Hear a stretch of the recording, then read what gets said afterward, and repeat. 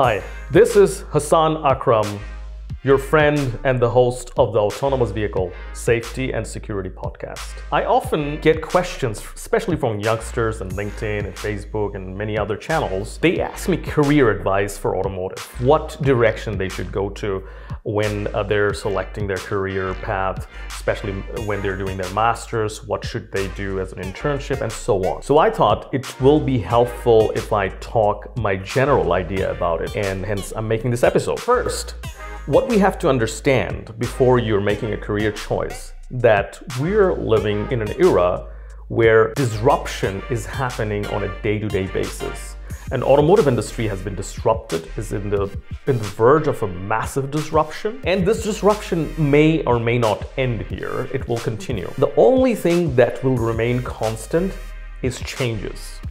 So what is required is your ability to change. That's the most important thing you have to consider whenever you're choosing your career path. At the moment, big OEMs are planning some layoffs and so on. There are some people are a bit nervous but I don't think there is anything to be nervous about. If you've heard the term software is eating up the world, it is also eating up automotive industry. If you are planning your career and if you're an engineer, there is no way you can you can bypass software. Software is something that will be everywhere, no matter what you do. You be be in the vehicle level or in the ECU level, wherever you work, you'll be working with software. We know for sure at one point AI will do a better job than all of us. There is no question about it. It's just a question of time. Having that hypothesis in mind, what you have to think about is your human skills. The idea is you have to discover your passion. Something that you're passionate about will always bring you forward than do something that the industry wants you to do. It doesn't matter what it is. There will always be a human part needed no matter how much AI takes over and that's where you have to concentrate. So IQ will be commoditized.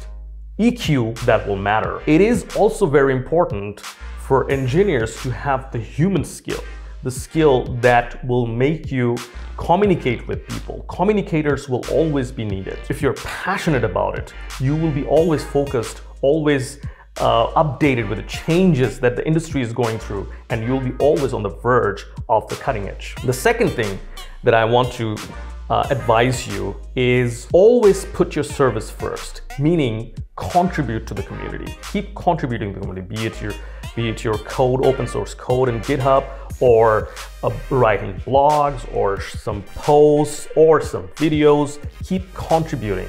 And that will also help you to be in the front line of your community. So Andrew Carnegie, once the richest man in the world, when Andrew Carnegie moved from Scotland to, to New York, he was a poor immigrant and he was working at the American Postal Service to uh, deliver mails from, from door to door. He realized if he could memorize all the avenue names, then he would be able to deliver uh, the post much faster. All of a sudden, he was delivering four times more within the same time compared to his peers and immediately caught the attention of his managers. It was a no-go, no-brainer for the manager to double his salary. Now imagine if Andrew Carnegie had went to the manager and told him, look, if you double my salary, I can do this. This wouldn't work this way.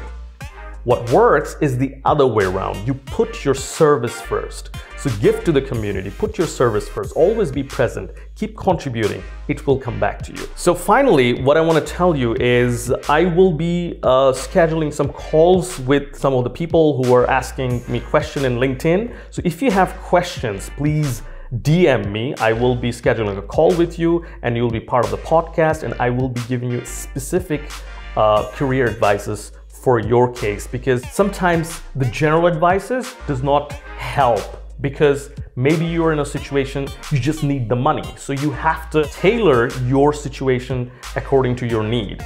And that's why it's very important for me to know the specifics and that's why I would like talking to you individually. So this will be um, from now on a part of the of the Matrickz Tech Talk. We will be bringing in youngsters and hear their career situation and answer their career questions. So this was Hasan Akram. Thanks for staying with us and we'll see you in the next episode.